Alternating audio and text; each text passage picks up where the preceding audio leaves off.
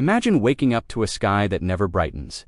Not storm clouds, but a dense global veil of ash, so thick that sunlight itself is dimmed. Temperatures fall, crops fail, and seasons stop behaving the way they should.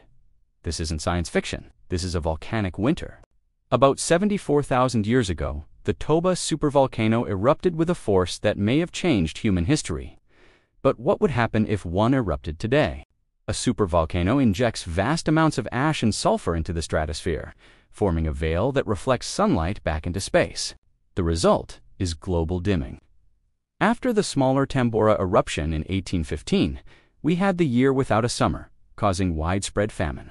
A modern supereruption could cause a global temperature drop of 3 to 5 degrees Celsius.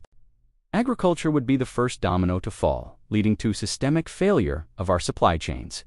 It wouldn't be the end of humanity, but it could be the end of civilization as we know it.